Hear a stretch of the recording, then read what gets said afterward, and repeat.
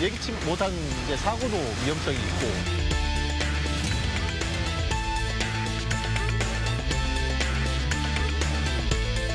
왜 햇빛 울산에 들어온다면은 그 녹지가 나와 들어가겠습니까?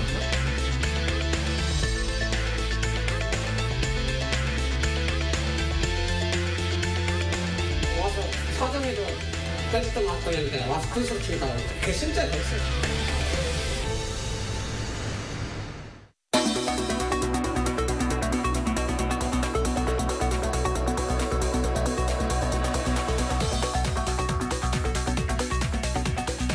안녕하십니까 탐사기획 돌직구입니다. 산업 도시 울산에서는 20개가 넘는 크고 작은 산업단지들이 오늘도 열심히 돌아가고 있습니다. 이 공장들이 잘 돌아가고 제품이 생산되면 필연적으로 산업 쓰레기가 나오게 되는데요. 이 산업 폐기물은 매립해야 한다고 합니다. 그런데 울산 지역 기업체에서 나오는 산업 폐기물의 매립장이 포화 상태에 이르면서 더 이상 처리가 쉽지 않고 다른 지역 처리장을 찾아야 하는 등 기업체들이 폐기물 처리에 아주 심각한 고충을 겪고 있다고 하는데요. 어떤 상황인지 무엇이 문제인지 설 태주 기자가 집중 취재했습니다. 안녕하십니까? 네, 기업체들의 산업 폐기물 처리 상황 지금 어느 정도 심각한 건가요? 네, 산업 폐기물이라고 하면 시청자분들이 보시기에 조금 생소할 수도 있을 것 같습니다. 공장에서 생산 활동을 하게 되면 필연적으로 부산물인 산업 폐기물이 생기게 되는데요. 울산에서 이 산업 폐기물을 처리할 곳을 찾지 못해 기업체마다 큰 어려움을 겪고 있습니다. 울산에서 산업 폐기물 문제가 왜 불거지고 있는지 함께 보시겠습니다. 석유화학 공장과 비철금속 단지 등 대형 산업 시설들이 모여 있는 울산광역시 울주군 온산공단입니다. 이곳에 입주해 있는 한 대기업 공장. 이 공장은 외국에서 온강석을 수입해서 구리나 납 등 비철금속을 생산하고 있습니다. 건물마다 작업이 한창인데요. 창고 벽면 한쪽을 가득 채운 이것은 수입한 원석을 깎고 나오는 불순물들입니다. 원석 안에는 공장에서 필요로 하는 광물만 있는 게 아니기 때문에 제품을 생산하고 가공하는 과정에서 필요 없는 폐기물이 생길 수밖에 없다고 합니다. 쌓인 폐기물은 중장비를 동원해 하루에도 여러 차례 덤프 트럭에 실어 밖으로 빼내는 작업이 되풀이됩니다. 이런 불순물들은 이 공장에서만 하루에 수백 톤씩 나옵니다. 이러한 폐기물은 칼슘과 불소 등 대부분 중금속이 상당 부분 포함되어 있습니다.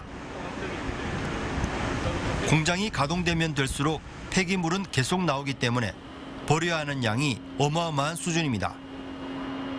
이런 저그 불순물로 이렇게 분리도크해서 폐기물로 빼내는 게 하루에 거의 한 지금 한 200톤 같은 되고 그리고 연간으로 따지면은 거의 한 7천 7만 톤. 산업체에서 나오는 불순물은 환경 오염을 막기 위해 최대한 재활용을 해서 폐기물 발생량을 줄여야 합니다. 하지만 현실적으로 폐기물을 처리할 수 있는 재활용 수요가 거의 없기 때문에 적당한 땅을 찾아 묻는 방법밖에는 없다고 합니다. 거기서 발생된 폐기물은 사실 국내에서는 더 이상 재활용이 불가능하고 수요처가 없기 때문에 매립장으로 갈 수밖에 없는 현실이거든요. 인근에 있는 다른 대형 사업장을 찾아갔습니다. 이곳 역시 많은 산업 폐기물이 나오고 있지만 울산에서는 버릴 곳을 찾지 못하고 있습니다. 경남, 경북, 그 인근도 이제 거의 포화 상태가 돼가고 있습니다. 지금 저희들은 지금 전라도까지 좀 알아보고 있는 상태예요. 그래서 좀 받아줄 수 있겠느냐 하니까 그쪽에서는 못 받겠다고. 대기업이 아닌 중소기업 사정은 어떤지 들어보기 위해 다른 공장을 찾아갔습니다. 연간 매출이 500억 원 정도인 이곳은 철강 제조 공정에 들어가는 첨가제를 만드는 곳입니다. 이곳 역시 수입한 원석을 가공해서 필요한 광물만 빼낸 뒤에는 나머지가 폐기물로 분류되는데요. 이 폐기물들을 처리하는 비용이 최근 몇 년 새 3배까지 뛰었다고 합니다. 울산에서는 더 이상 처리할 데가 없어 매립 비용이 높아졌기 때문인데 그 비용은 고스란히 제품 단가 인상으로 이어져 기업 경영에 어려움을 호소하고 있습니다.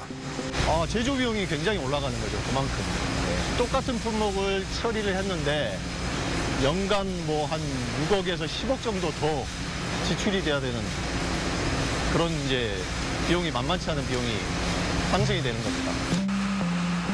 이렇게 폐기물 처리 비용은 계속해서 늘어나고 있지만 더 큰 문제는 언제까지 그 비용이 오를지 누구도 알 수 없다는 겁니다. 그래서 이 회사의 경우 중장기 지출 계획을 세우는데도 곤란을 겪고 있습니다. 약 한 300% 정도까지 올랐습니다. 현재 오른 상태입니다. 이미. 근데 그게 이제 앞으로 연말이나 아니면 내년이면 더 오른다는 지금 이야기도 있고요. 산업 폐기물은 각종 유해 화학 물질의 위험성이 도사리고 있기 때문에 운반하고 매립하는 과정에서도 안전이 꼭 필요합니다. 하지만 각 회사마다 폐기물을 트럭에 실어 멀리 있는 타 지역 매립장을 이용하게 되면서 사고가 일어날 위험에 항상 노출돼 있습니다. 가까운 매립장에서 처리하는 게 가장 안전합니다. 폐기물 운반하고 매립하는 과정도.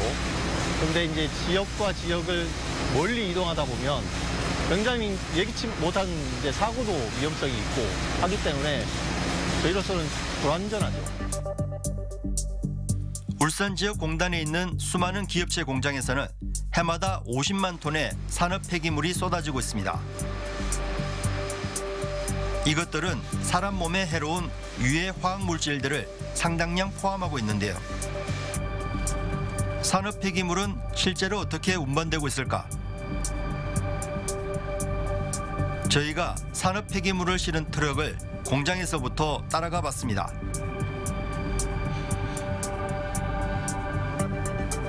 폐기물 운반 차량은 일반 트럭과 다르지 않았는데요. 공장 지역을 벗어나자 속도를 높여 국도와 고속도로를 거쳐 전국 각지를 내달립니다. 차량 덮개는 형식적일 뿐이고 바람을 타고 중금속 가루가 날리거나 떨어질 수도 있는 상황이었습니다.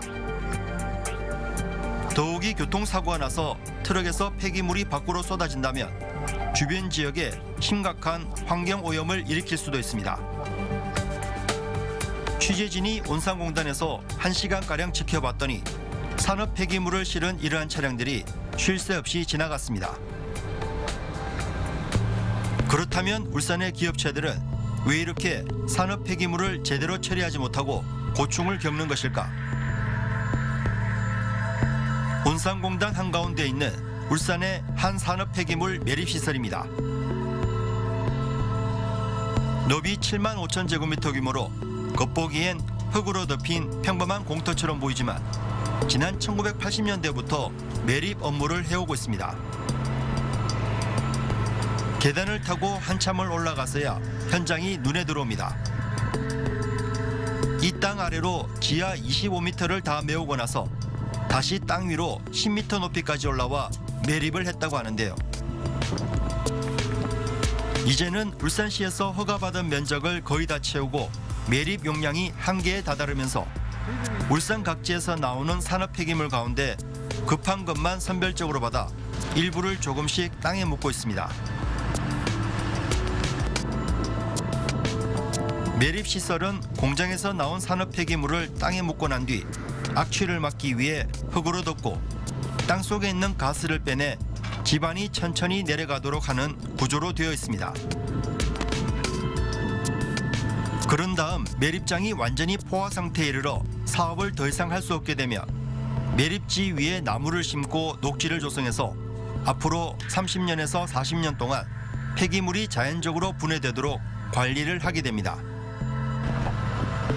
이곳 매립장은 최근 울산시에 매립을 할 수 있는 용량을 더 늘려달라고 증설 허가를 요구했지만 불가 처분을 받았다고 합니다. 이 때문에 올 연말이면 산업 폐기물을 더 이상 받지 않고 완전히 문을 닫을 계획입니다. 저희들은 허가 용량이 있는데 허가 용량이 거의 95% 이상 다 소진했기 때문에 이제 마무리 정리하는 해 나가면서 일부 조금 울산시 관내에서 나오는 폐기물을 매립하고 있습니다. 울산에 있는 산업단지는 국가산업단지 두 곳과 일반 산업단지 14곳을 포함해 크고 작은 30여 곳이 가동되고 있지만 산업 폐기물 매립 시설은 단세 곳에 불과합니다. 그런데 울산시는 지난 10여 년간 신설은 물론 증설 허가를 거의 내주지 않았습니다.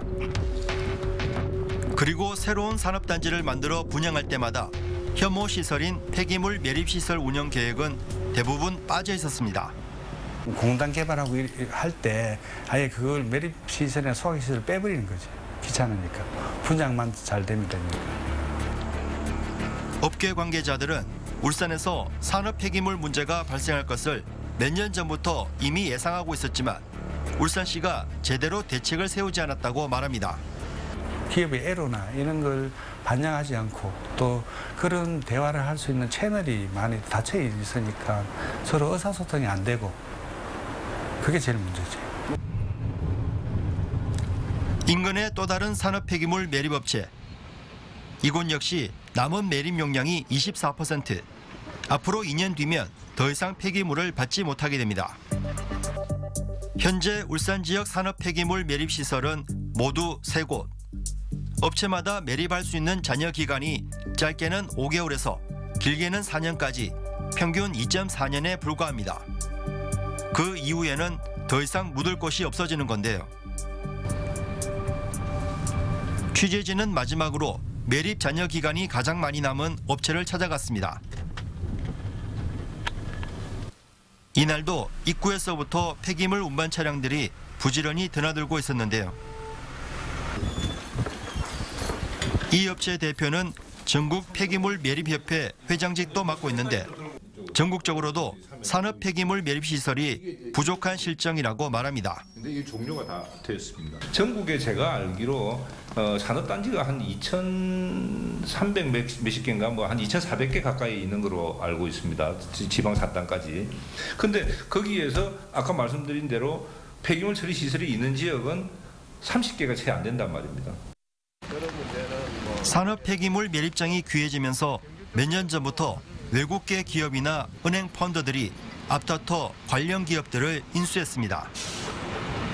이들이 경영권을 확보한 이후에는 폐기물을 이전처럼 마구잡이로 받아 처리하기보다는 반입되는 물량을 줄여서 단가를 올리기 시작했습니다.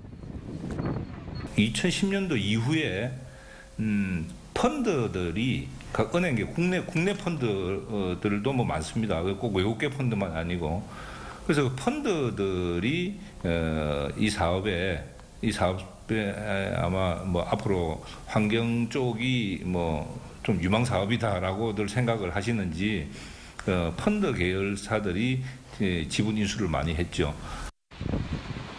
이 업체도 몇 년 전 호주의 한 다국적 기업의 경영권이 넘어가면서 매립량을 줄이면서도 가격을 올려 수익률을 높이는 영업 전략으로 바꿨습니다.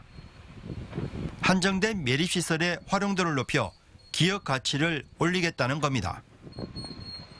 돈을 내서 수익을 어, 뭐 하는 게 목적인 그 저거잖아요 법인이잖아요. 그러니까는 기업의 가치를 높여서 되팔기도 하고 또 그 기업의 수익을 어, 운영 수익을 어, 어, 또 내기도 하고 하는 그런 목적으로들 이제 주로 하는 데다 보니까 산업 폐기물은 매일 쏟아지고 있는데 울산에서 처리할 시설은 사실상 거의 없게 됐습니다. 기업체들은 울산시가 더 이상 매립시설 허가를 내주지 않아 이런 문제가 일어나고 있다며 울산시의 무대책을 비판하고 있습니다. 매입장에 더 들어서지 않고서는 완전히 응답해야 되는 지금 한국까지 지금 끝까지 와가 있는데 울산시에서는 그 심각성을 사실 개발지는 못하고 있는 것 같아요. 기업체가 무슨 잘못이냐고요. 네, 화면을 보니까 기업체들의 어려움이 정말 많습니다. 산업 폐기물은 매일 쏟아져 나오는데 매립 시설은 더 이상 늘어나지도 않고 기존의 매립 업체들마저 반입량을 줄였기 때문에 이러한 문제가 일어나고 있는 것 같은데요. 그럼 도대체 어떻게 해야 하는 겁니까? 네, 산업 폐기물 문제는 마치 집을 지으면서 화장실을 만들어 주지 않는 것에 비유할 수도 있을 것 같습니다. 네. 업계에서는 그동안 울산시가 산업단지만 계속 만들기만 했지 주민들의 민원을 우려해서 매립지는 허가해주지 않는 행정을 계속해왔기 때문에 이런 문제가 일어났다고 주장하고 있습니다. 취재팀은 근본적인 대책은 없는지 알아봤는데요. 계속해서 화면 보시겠습니다. 울산 지역 산업계와 상공회의소는 산업 폐기물 인프라를 확충해 달라고 그동안 울산시에 수차례 건의했습니다. 폐기물 처리가 한계에 왔으니 대책이 마련되지 않으면 공장들의 가동 중단이 불가피하다는 겁니다.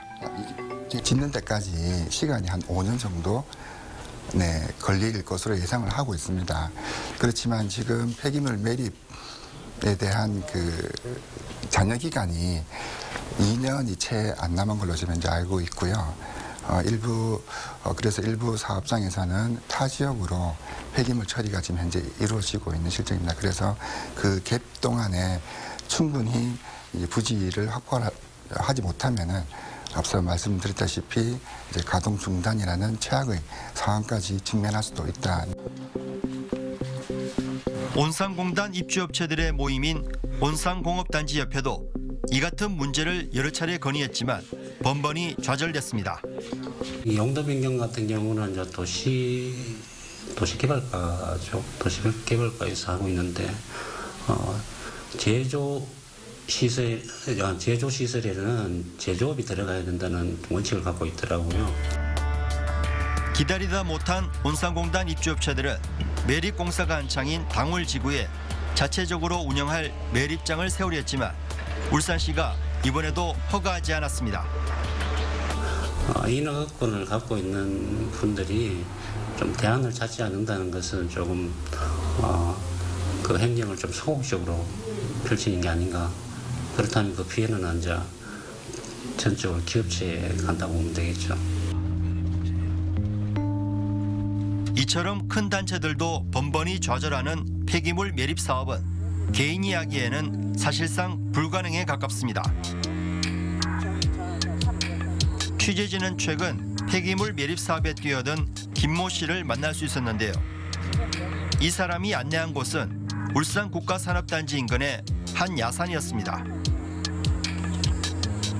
김 씨는 매립장 사업을 하려고 이곳에 땅을 사서 수년 전부터 울산시에 관련 허가 신청 서류를 제출했지만 울산시는 법적으로 문제가 없는데도 허가를 내주지 않고 있다고 말합니다. 법적으로는 아무 문제가 없어요. 그래서 또저 시에도 이게 법적으로 이상이 있냐면 이상이 없다 그래서 신청하게 된 거예요. 그래서 그런데 좀 시에서 찝찝하니까 국토부에다가 질의서를 넣자더라고요. 그래서 질의서 넣었어요. 국토부에서 이상이 없다는 거예요. 근데 시에서 그래도 질의서 내용이 잘못됐어요. 한 번 더 넣자는 거예요. 그리고 다시 질의 시에서 원하는 대로 질의서 또 넣었어요. 이상이 없다는 거예요. 낙동강 유역환경청은 김 씨에게 폐기물 처리업을 할 수 있다는 통보를 해줬습니다. 울산시에서 폐기물 처리 시설을 할 수 있다는 허가를 받아야 하는 조건부였습니다. 김 씨는 울산시에 폐기물 처리를 할 수 있는 허가권을 신청했지만 울산시는 김 씨 땅이 녹지로 되어 있어 폐기물 매립시설 입지로 불가하다고 통보했습니다. 그런데 환경부는 산업입지 개발에 관한 지침에서 기업체의 원활한 산업 생산을 위해 폐기물 처리시설 부지는 녹지 비율에 포함하고 있습니다. 아, 이게 어떻게 보면은 좀 완화해드리는 거죠. 그러니까 이제 산단 조성할 때 의무 녹지를 확보해야 되는데 그 안에 매립시설이 있잖아요. 사용 완료된 매립시설 이 상부에 태양광 설치도 할 수 있고 체육시설 설치를 할수 있잖아요. 그러니까 그 산단별로 이제 일정 비율 녹지 산정함에 있어서 그 녹지를 포함할 수 있다는 거예요. 김 씨는 사업 허가를 내주지 않는 울산시를 상대로 소송을 냈고 결국 3년에 걸쳐 대법원까지 가는 법정 싸움 끝에 법원은 김 씨의 손을 들어줬습니다. 하지만 울산 시는 여전히 허가를 내주지 않고 있습니다. 김 씨는 산업단지 내 허가권을 가진 울산시 도시개발과가 월권을 했다고 주장합니다. 비상 문제가 납니다. 소음 진동이 있어서 안 된다. 그 이유를 봤잖아요. 그건 환경과에서 지혜가 해야 되는 게 아니거든요. 녹지가 문제하다. 그건 또 녹지과에서 그 도시과에서 하는 게 아니거든요. 도시과 애들이 월권을 하는 거죠. 김 씨는 자신이 허가를 못 받은 이유가 공무원들에게 괘씸죄에 걸렸다고 말합니다.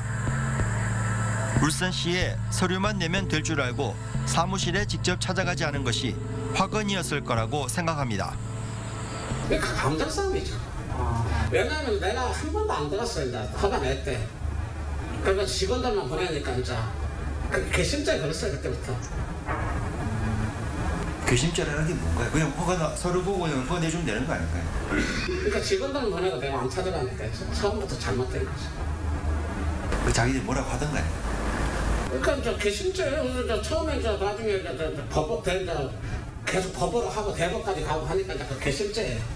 그래서 이제 대법원에서 이기고 나서 이제 해달라고 큰 소리 치니까 이제 뭐 어, 와서 사정에도 해주도 말던데 와서 큰 소리 친다고 이제 그런 식이죠. 우리는 울산시 폐기물 정책을 총괄하는 환경녹지국장을 찾아갔습니다. 환경녹지국장은 산업 폐기물 처리장을 울산에 더 만들며 폐기물 처리장이 없는 다른 지역 폐기물까지 들어와서 울산의 환경이 오염된다고 말합니다. 제가 알기로는 한 여섯 일곱 개 시도는 아예 폐기물 처리장 자체가 없습니다. 산업 폐기물이 하나도 없어요. 그런 시도도 여섯 일곱 개 시도가 있다. 참고로 말씀드리면 그러면 그런 데 있는 기업체는 어떻게 버리느냐? 전부 우리 데 갖고 온다. 그러니까 우리가 허가를 내주면은 더 들어올 수가 있다는 당근이죠. 당근이지. 취재진은 매립장 증설을 요구하는 수많은 기업체들을 만났지만 정작 울산시 해당 국장은 신청서를 받은 게 없다고 말합니다. 그걸 우리 데까지 아직 안 왔다고 이야기했잖아요. 그래서 내가 이해할 수 있는 게 없다니까요. 참, 꼭, 참. 이상하죠. 도시개발과 가서 물어봐라. 도시국장님한테. 제가 이야기할 수 있는 부분이 없다는 거죠. 도시국의 이야기를 내가 하면은 좀 입장이 좀 곤란하다. 그래서 우리는 산업단지 내 매립장 허가권을 가진 도시개발과를 찾아갔습니다. 해당 과장은 녹지를 훼손하면 공해를 막을 수 없기 때문에 녹지 부지에 매립장 허가를 내줄 수 없다고 말합니다.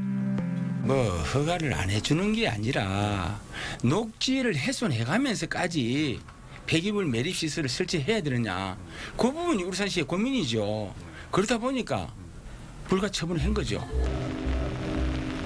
그런데 개인 사업자 김 씨가 매립장을 하겠다고 신청한 부지 바로 옆에는 같은 녹지인데도 수만 제곱미터가 이미 잘려 나가 있습니다. 이 땅은 울산시 종합건설본부가 건설 폐기물을 처리하는 곳인데요.